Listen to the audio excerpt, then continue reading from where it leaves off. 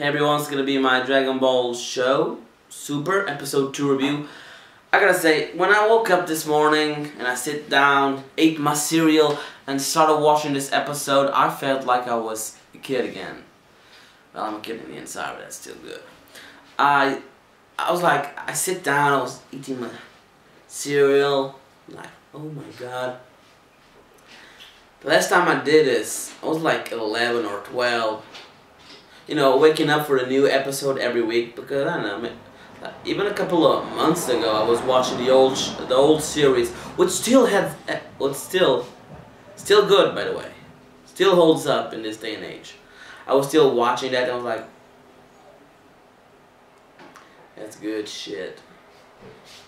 I really like the family dynamics about this. I really, I, Vegeta's being a nice dad. Holy shit.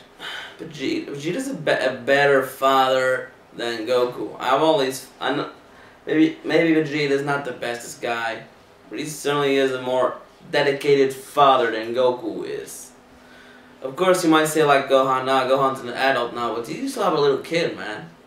He goes off training, and I, I love seeing like Goku training on Kai World. I, I really enjoy that. Vegeta started training with his battle suit in that Chamber was like ah uh, like the the pre Cell saga when he was like training to fight the cyborgs. I really dig that. It was very cool.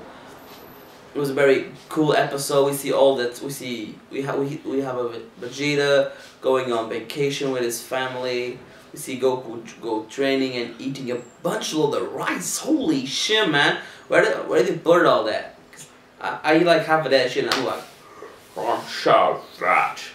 That's really it must be that with metabolism. God, I wish I had that though. See Goku training, wrecking King Kai's planet. I really enjoyed this, the scene with Whis go to this planet, steal this dinosaur. Man, you're super powerful. Couldn't you just kill one your own? You gotta steal the ones these guys fought. But that's not the cool part. That the those fucking yellow aliens, which by the way reminded me of the minions. Like he turned into this super badass like dinosaur creature. And I'm like, holy shit, that's super cool. I kind of wish he didn't die, so I wish you could see Goku fight it. It was a great fight nonetheless. I loved, I love seeing Whis fight him and like, that, he has something on his mind. Like Whis throughout the episodes like, uh, I can't remember, just like the tip of my tongue. And holy shit, and I think it's his dream, remember, he says it was a premonition he's always talking about the saint, the saints. I was gonna say Saint Seiya, oh, the the Saiyan God. Like he's thinking about that. What I'm thinking is like maybe the first 10 episodes could be before Battle of Gods, and then we have more episodes after Battle of Gods and before Resurrection of F, because like this, it could happen. No, it'd be confusing to people who didn't watch the movie, because like, this is a prequel to the, like the, the first 10 episodes will be a prequel to the movie and then we get the episodes after the movie for like three years and then for that we can like a bunch of episodes. Like I don't mind that. I haven't watched Re Resurrection of F yet because I, I, it didn't came out where I where I live.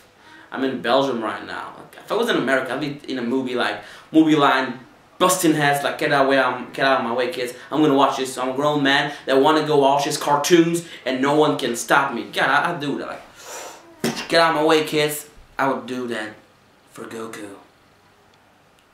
And it was a great episode. We know we know that next week uh, Bills is gonna talk with that fish that can tell the future or something. Uh, I didn't really get.